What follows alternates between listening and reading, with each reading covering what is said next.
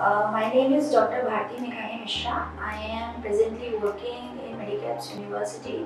I am uh, IIM FGP alumni also. I have almost 10 years of experience in working in various institutions in Indore.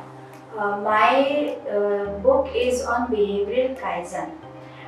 Kaizen is basically a Japanese term and it is used in productions. Kaizen means continuous improvement. So I have used uh, this continuous improvement, this word Kaizen, as uh, improvement in behavior. Uh, behavior can be improved with the help of training and development interventions. Training, uh, with the help of training, we can improve one's behavior in the organizations, which can be useful for the organizations.